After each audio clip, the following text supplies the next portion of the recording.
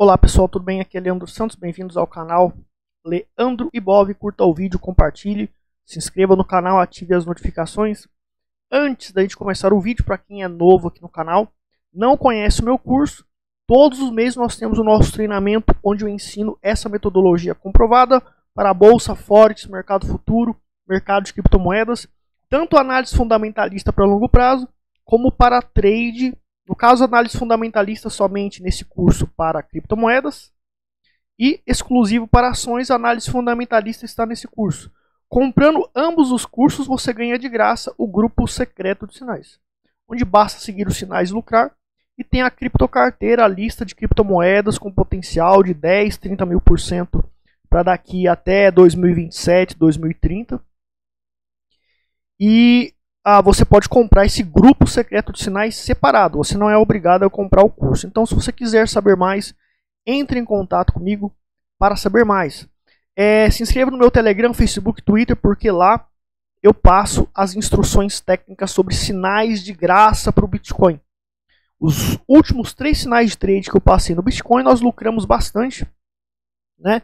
Sinais de holding também eu mandei comprar no fundo antes de explodir né, vários sinais que eu passei tudo nas minhas redes sociais, porque não dá para fazer vídeo direto, tá? Então você tem que se inscrever, tem os links na descrição aqui é, das minhas redes sociais. Então, com relação ao sinal de trade do Bitcoin, eu cancelei, tá, pessoal?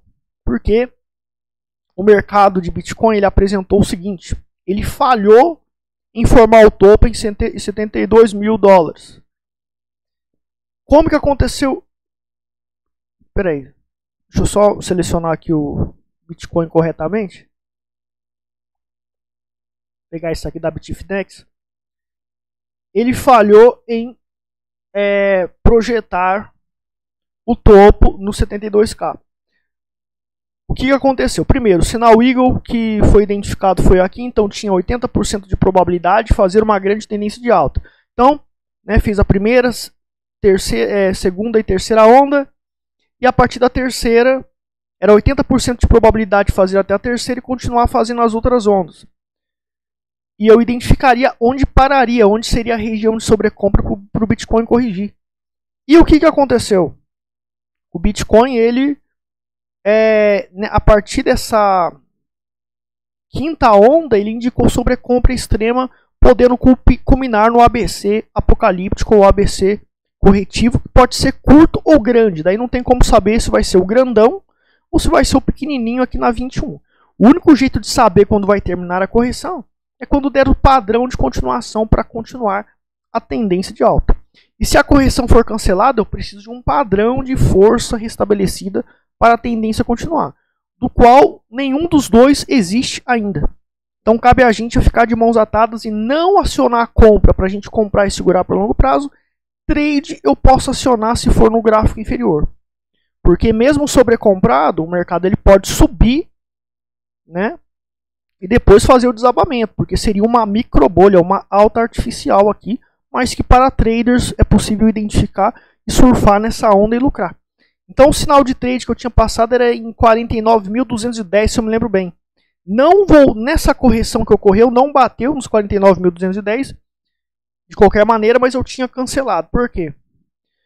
O alvo, como deu um sinal Eagle lá no gráfico diário, que tinha a chance de fazer uma grande tendência de alta lá no diário, D de diário aqui, então ajudaria a projeção que foi calculada o 72K, que foi confirmada após romper esse topo, pela técnica de, sobre, é, de pela técnica de simetria dos pivôs. Então iria para o 72K, mas é, como rompeu a mínima do candle anterior, fez fundo. Então, quando faz um fundo, a gente confirma um topo. O topo foi aqui. Era para ser no 72, mas não foi no 72, fez aqui. Então, se fez o topo aqui e não foi para 72 e continua dando falta de força compradora extrema mesmo no, no próximo topo, significa que está muito fraco, podendo culminar nessa correção forte a qualquer momento. Então, por isso que eu cancelei o sinal de trade, tá?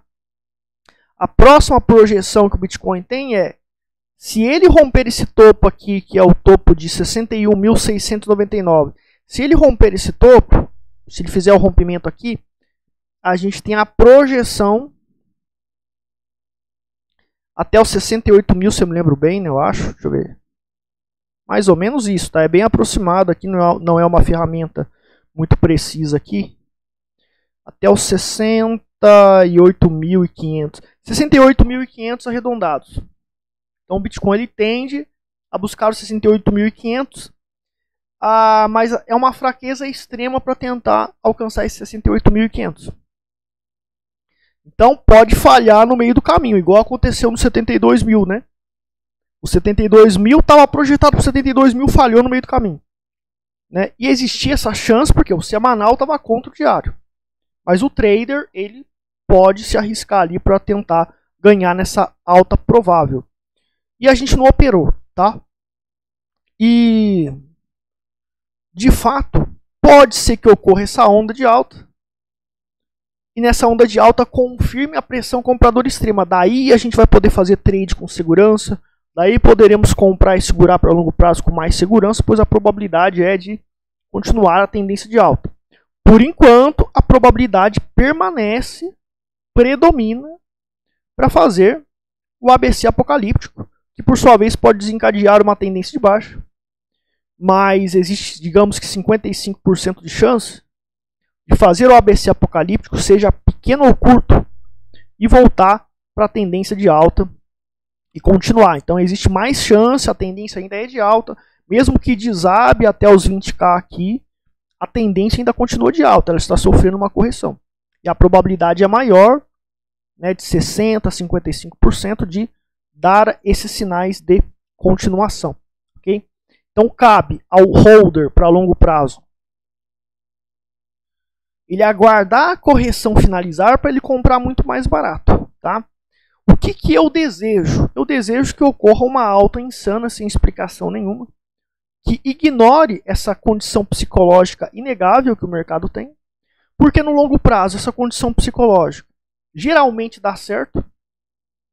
E se eu sigo essa condição psicológica, provavelmente eu vou acertar o ABC apocalíptico, seja pequeno ou grande, e vou me proteger comprando mais barato, tá?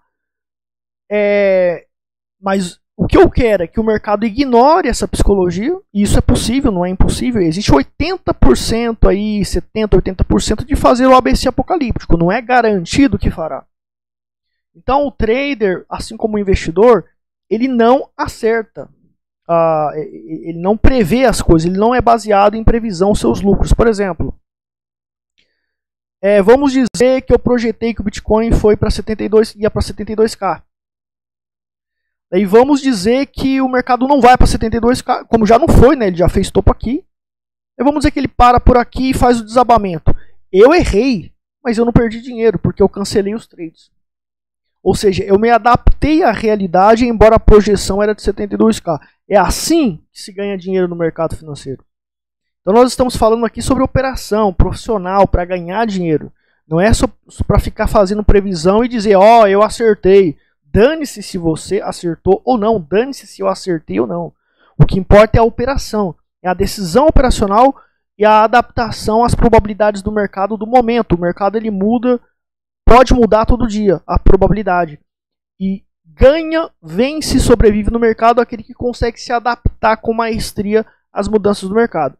Eu sou especialista em fazer isso nas oscilações do preço, para a gente ganhar dinheiro nas oscilações do preço e para comprar e segurar para longo prazo, levando em consideração custo-benefício, cálculo de valor intrínseco e usando as oscilações do preço, acertando os movimentos das oscilações do preço para comprar o mais barato possível, para comprar bem abaixo do valor intrínseco. É isso que o nosso método faz, otimizando o método de Benjamin Graham, de Warren Buffett, comprando mais barato porque a gente consegue saber para onde vai as oscilações, onde que vai terminar e acertamos muitas vezes. Não é 100%, mas acertamos muitas vezes. Então, considerando que o Bitcoin está nessa situação, compras paralisadas para longo prazo, para trade também por, por enquanto. A gente tem que considerar que o Bitcoin, que, que nessa situação, é, no longo prazo, se eu me arrisco nessa situação, é bem provável que eu me dê mal. Pode ser que eu tenha a sorte de, se eu me arriscar nessa condição aqui, eu comece a lucrar e tenha um lucro gigante, mas vai ser curto prazo, é sorte. Só que a sorte, ela nunca dura no longo prazo. Por isso que a decisão nossa tem que ser baseada na nossa sobrevivência daqui a 10 anos, na nossa sobrevivência, prosperidade daqui a 5 anos, daqui a um ano no mínimo. Então não adianta trabalhar nesse padrão, porque a maioria das vezes eu acerto. Igual aconteceu em 2017, que houve lá o. O, o, o a queda aqui que foi acertada, eu tinha alertado sobre os 20k que iria cair, era para parar de comprar, etc. Todo mundo sabe da história, certo? É, com relação aos lucros do Bitcoin, tá? Na Nano, né, 465, os sinais de compra que eu passei para hold no, nas minhas redes sociais, no YouTube, os melhores pontos foi 88 centavos 68, né, a gente está com 465. A Nano está superando ali os seus problemas de velocidade devido ao ataque spam que ela está sofrendo. Muitos desenvolvedores estão resolvendo.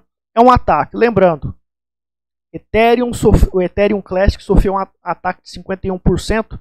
Ele estava a 7 dólares na época, foi para 6, 5,5 e hoje está 12, 13 dólares. O Ethereum Classic superou esse problema. Qualquer criptomoeda, token pode sofrer um ataque e superá-lo depois e continuar sobrevivendo. A Nano, infelizmente, está sofrendo aí o seu ataque e vem mais por aí, com certeza, porque a Nano é uma criptomoeda que custa zero de taxa com velocidade abaixo de um segundo a transação. Então vai incomodar mineradores de Bitcoin, desenvolvedores na área de Bitcoin, na área de outras moedas, e vão tentar hackear, tentar destruir a Nano com algum tipo de ataque. Tá? É, esse mercado de criptomoedas ele é um mercado sujo, um mercado que as pessoas jogam sujo ali para se manter em primeiro lugar, para se manter acima de outra criptomoeda, etc. O Bitcoin, sinal de compra para o Bitcoin, né, nos 4 mil, abaixo dos 10 mil, sinais de compra do Bitcoin para holding era o ideal. Né? Quem comprou nos 4 mil no sinal que eu passei, hoje está lucrando depois de dois anos né, 1.445% de lucro para o sinal de 4 mil. Para você ganhar 10 mil por cento no Bitcoin, comprando por 60 mil arredondado, o Bitcoin vai ter que valer 6 milhões, né? Então, 6 milhões para ganhar 10 mil por cento do Bitcoin é mais de 100 trilhões injetados no Bitcoin. A Nano precisa apenas de 13 bilhões de dólares injetados nela. A gente tem um mercado aqui de. Nós temos aqui um mercado de 1,8 trilhões. Então, 1,8 trilhões. Então, 13 bilhões apenas é, mandados para Nano, vai fazer a Nano valer 100 dólares. Quem comprou a Nano por 1 dólar, que era o preço ideal, que é por mais de dois anos, quando a Nano estava no fundo do poço, eu mandei comprar, vai ganhar 10 mil por cento. Então é mais fácil fazer 10 mil por cento de lucro na Nano. E no Dash também, 200 bilhões de market cap do Dash, o Dash vai para 10 mil. Ou seja, é, é, muito mais fácil ganhar 10 mil por cento de lucro com o Dash. E o Dash ele é melhor do que o Bitcoin, visto a tecnologia dele factualmente comprovada. Ele tem a opção de privacidade e ele é mais veloz do que o Bitcoin e as taxas são ridículas, são taxas muito pequenas. Por exemplo, mil dólares de movimentação em Dash gera 2 dólares de taxa mais ou menos. Então é taxa bem, bem pequena mesmo. A Nano tem taxa zero, a Nano tem uma velocidade abaixo de um segundo, tá com problema, às vezes está demorando 15 segundos, 30 segundos para transacionar por causa do spam da, na rede Nano, mas é um ataque que pode ser superado igual o Ethereum Classic superou o ataque de 51%. Então a Nano também continua factualmente sendo melhor do que o Bitcoin, porém está em análise por conta do ataque que ela está sofrendo, mas não quer dizer que ela é descartável. A gente vai ter que aguardar e soluções com certeza podem vir, tá? Por isso que é bom diversificar. Se o Dash é atacado e a Nano não, eu tenho a Nano e o Dash vai ser atacado, vai para o fundo do poço, eu diversifiquei. Se o a Nano é atacado como está acontecendo agora, vamos dizer que esse problema persiste, mas o Dash não e o Dash bomba, eu investi meu dinheiro em Dash, então eu vou ganhar uma fortuna com Dash no longo prazo. E com a Nano, infelizmente, né, houve um ataque que atrapalhou o projeto, que arruinou o projeto. É uma ação de cyberterrorismo dentro do projeto de criptomoedas para tentar destruí-la por inveja.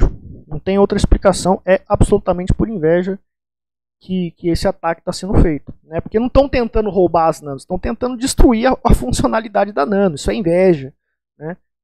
Tem taxa zero, tem além de taxa zero, tem é, velocidade abaixo de um segundo, vamos destruir isso aí, é melhor do que o Bitcoin.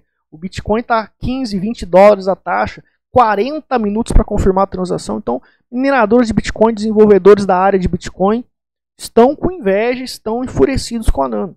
É bom para mostrar se ela está sendo atacada, mostra que ela é boa mesmo, né? Só que ela tem que superar esse problema e ela está aos poucos, muitos desenvolvedores, a comunidade está contribuindo ali. Agora, pessoal, a gente vai falar aqui sobre, rapidamente, sobre o a dominância do Bitcoin é abaixo de 58%. Ela tende a ir para 50%, né, a primeira onda, e depois a segunda onda para 40%, segundo a análise que eu fiz, que eu venho fazendo aqui. Há muitos, há um, mais de um mês atrás eu falei que deu um sinal Eagle lá no gráfico do Bitcoin da dominância para ela desabar. Né? BTC.D aqui, o, a dominância.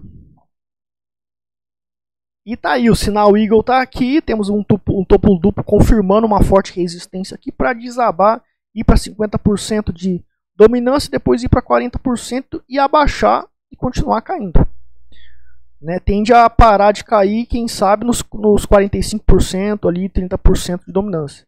Pode, vai demorar uns 3, 6 meses para isso acontecer. A probabilidade disso acontecer não é garantido. Então, pessoal, a gente tem o, vai continuar entrando dinheiro no mercado de criptomoedas até 4,5 trilhões, segundo a minha teoria. Tem o um link aqui na descrição da teoria dos 4,5 trilhões que vão migrar para as criptomoedas.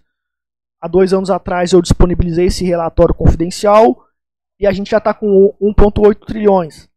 Falta mais 2,5, 2,700 trilhões aí para chegar lá nos 4,5 trilhões a dominância do Bitcoin diminuindo, maior proporção de capital vai para as altcoins. Então é tá iminente um processo de valorização de várias altcoins e a nossa criptocarteira para quem comprou há um ano atrás. Quem entrou no grupo secreto há um ano atrás e comprou as criptomoedas e tokens da nossa criptocarteira tem lucro de 4.100. Isso há um ano só, hein? 4.152%, 2.000%, 1.500%, 1.600%. 1.200, tem um monte acima de 1.000% aqui, né? Tem um monte, ó, mais um com 2.000%, é confidencial aqui os tokens, etc. Pessoal, isso não existe em bolsa de valores, você, né? Você conseguir ter esse nível de desempenho, né?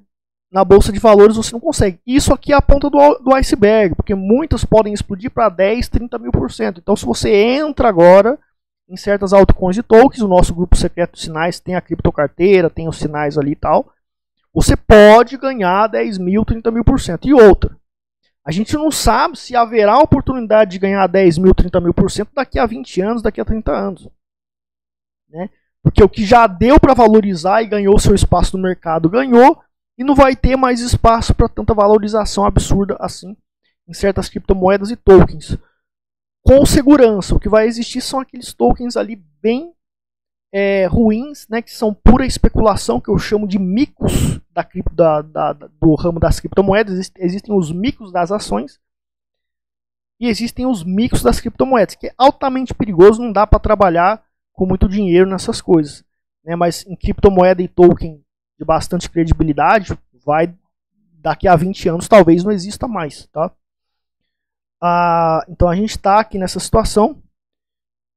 E é uma prova de que no longo prazo a gente ganha. Em 2017 nossa carteira estava desvalorizando. E a gente comprando, caía mais a gente comprando. Né? Usava o método gráfico, o mercado cai a gente comprando. Tá? É, e hoje, depois de três anos, a gente tem esse resultado. Né? Quem comprou há um ano atrás, quem entrou no grupo secreto há um ano atrás, está tendo esse desempenho. Certo? Bom, vamos aqui, pessoal, partir para o ouro, o euro e o dólar americano. Então, pessoal, novamente dando aqui destaque para o dólar americano, vocês têm que entender o seguinte, né? O dólar americano em espécie, USD BRL, o dólar americano em espécie, se o governo brasileiro ele sofre uma crise econômica absurda e você sabe que o real brasileiro vai para o fundo do poço, você vai querer trocar por dólar americano para proteger o seu capital. Só que o governo impede você, se você tem dinheiro em célula, papel, ou se você tem dinheiro no banco, B de banco, né? E se você tem dinheiro em banco do exterior, BE, quando você for trazer seus dólares do exterior para o Brasil, eles podem impedir esse tipo de câmbio, etc. também. Né? Ou se você for comprar em algum banco aqui do Brasil para mandar para o exterior, também vão impedir. Na Argentina fazem esse tipo de restrição. É, então, mesmo, sendo, mesmo você podendo comprar dólar hoje, futuramente você vai ter problema para trocar os seus dólares, etc. E quando você trabalha com a stablecoin DAI, que é a única stablecoin descentralizada, lastreada em dólar americano, é descentralizado, então não tem como uma ordem judicial criminosa, injusta, bloquear o seu saldo na DAI. No Tether tem como, já, te, já teve endereços de Tether congelados. Então, o Tether é igual ao banco, a moeda de dólar lá da Binance é igual a um banco, é centralizado, está nas mãos de uma empresa. A empresa tem controle, ela tem a custódia. Se a justiça manda bloquear, já era. O DAI não, o DAI é 100% descentralizado. Então você pode trocar todo o seu patrimônio para DAI lastreado em dólar americano que tende a bombar. Daí se acontece igual a Argentina, o, o real começa a ter uma hiperinflação e o governo começa a impedir você de comprar dólar, tudo, 50% de tudo que eu tenho está tudo em DAI em uma criptocarteira descentralizada do qual ninguém pode tirar de mim. E existem as técnicas anticonfisco através de acesso físico que agentes do governo poderiam utilizar, que você pode impedir também de, de pegarem as suas chaves privadas. Eu ensino isso é, num, num, tutorial que eu criei chamado Tutorial Exodus. Está no meu canal do YouTube Reserva e também no meu site, lá no curso de Bitcoin. Então não vão conseguir roubar o seu dinheiro, impedir que você use esse dinheiro. E daí você consegue sobreviver mesmo numa economia em frangalhos. Agora tem que pensar no seguinte, pessoal. Se a economia for em frangalhos, você pode ser bilionário. Se não tem, se está faltando coisa na prateleira, igual acontece na Venezuela, você também vai ficar na miséria, porque você não tem como comprar as coisas porque não tem para vender, porque o país está em colapso, em crise. É o que acontece na Venezuela, né? Então não é só ter, ter dinheiro, ter seu dinheiro em dólar que você está bem. Então, como alertado, o dólar americano bombando em relação ao real brasileiro. E tende a piorar a situação, né? Está em tendência de alta e tende a bombar. Eu até pensei, é, deu a probabilidade de fazer uma, uma, tendência de baixa, entramos vendido no grupo secreto de sinais e tomamos o stop. Agora voltou a subir, né? Pensei que iria cair um pouco mais, mas voltou a subir e tende a bombar, tende a iniciar a sua tendência de alta. O euro é bom, mas a gente está vendo o dólar americano superando o euro. O euro devolvendo toda a alta que ele fez.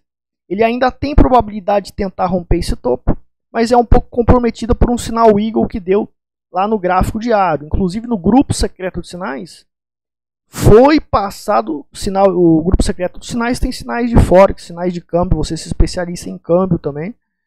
E foi passado o sinal de trade aqui. A gente entrou antes da mini avalanche que está acontecendo, que tende a se estender para uma avalanche maior, mais é, desenvolvida. Então esse sinal Eagle tem 80% de chance de dar certo, de fazer essa grande tendência de baixa, que por sua vez pode estragar a probabilidade de 80% de romper esse topo. Daí o euro, o euro ele tende a entrar em tendência de baixa em relação ao dólar americano, o dólar americano se superando de novo, mantendo sua hegemonia e continuando em primeiro lugar do mundo, como a moeda mais forte. Tende a voltar. É o que eu falo. Antes, há três meses atrás, o dólar estava em crise. Mudou. Eu me adaptei às mudanças do mercado, vendi o, o euro. Estamos vendidos em euro em relação ao dólar americano, ganhando com a queda do mercado. É o que eu falo ganhar dinheiro no mercado financeiro não é previsão, não é saber para onde vai o preço. É saber se adaptar o mais rápido possível e acertar as probabilidades e tomar a decisão certa de acordo com aquela probabilidade de diagnóstico de probabilidade e se adaptar corretamente operacionalmente para lucrar. É assim que se ganha dinheiro no mercado, não é previsão. Então, mudou. O dólar agora ele pode ficar na sua hegemonia e eu estou ganhando dinheiro. Né? Então eu errei a. Eu tinha falado que por meses o, o dólar, a, a, várias moedas fiat ficariam acima do dólar americano. Mudou.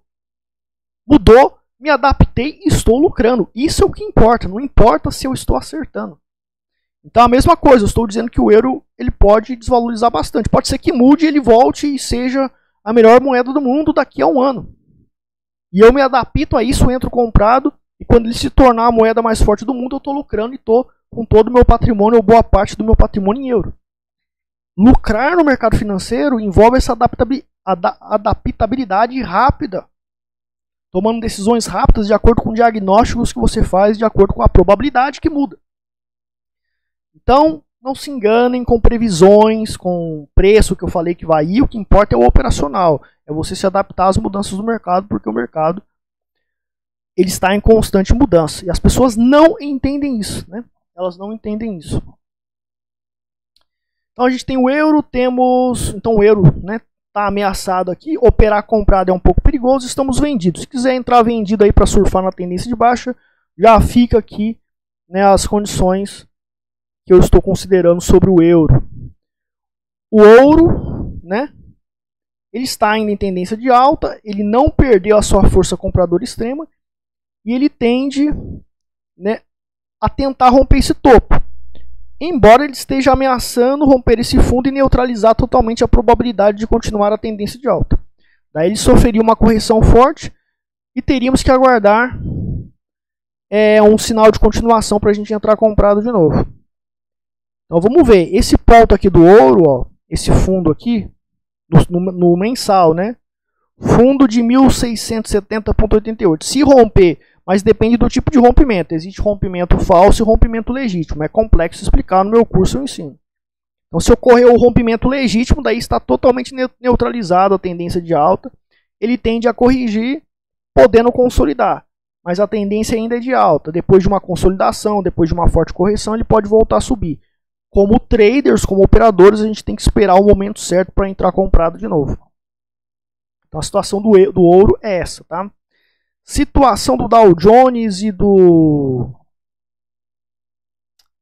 e nem vai ter aula de psicologia hoje não, hein? Porque a gente acabou atrasando. Dow Jones e do euro. O Dow Jones e o euro Dow Jones. Então, Dow Jones, pessoal, incrivelmente, o, o Bitcoin, para ele ir para 100k e não sofrer o ABC apocalíptico, ele precisa fazer igual o Dow Jones. O mesmo sinal de ABC apocalíptico que o Dow Jones fez, ele fez aqui, ó. O Bitcoin fez um sinal de ABC apocalíptico, que eu já expliquei no começo do vídeo, né? Daí ele fez lá o ABC apocalíptico para ocorrer isso aqui podendo voltar para os 20k. O Dow Jones também fez a mesma coisa, mas ele rompeu o topo anterior e confirmou pressão compradora extrema de novo e a tendência pode continuar em alta. Então é esse tipo de padrão que o Bitcoin tem que fazer.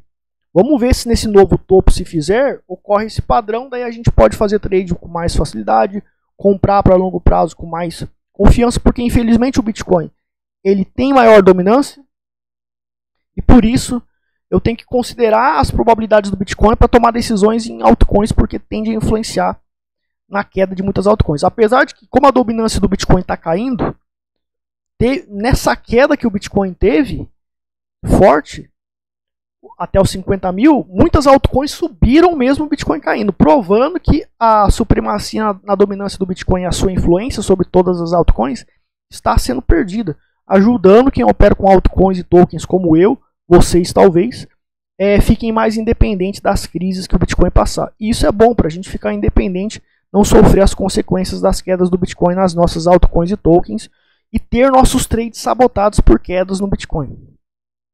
Ibovespa. O Ibovespa, né, ele está ainda com probabilidade de romper esse topo, está formando um suporte aqui, né? e ele tende a romper esse topo. Existe probabilidade de fazer as três ondas, fez a segunda e tende a fazer a terceira. Então a gente tem chance de ter alta aqui no Ibovespa e podemos fazer trade comprado em algumas ações que estão na mesma sincronia que o Ibovespa, tá?